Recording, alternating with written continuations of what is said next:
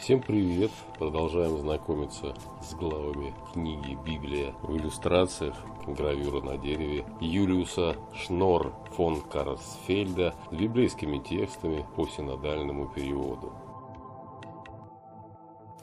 Иисус Христос благословляет детей.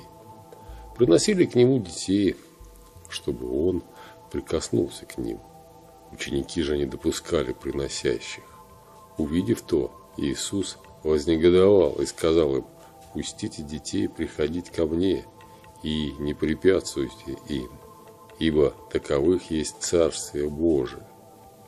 Истинно говорю вам, кто не примет Царствие Божие, как дитя, тот не войдет в него».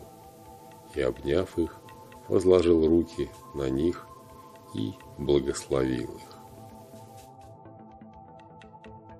Текст по книге «Библия» в иллюстрациях, гравюра на дереве Юлиуса Шнор фон Карсфельда с библейскими текстами по синодальному переводу.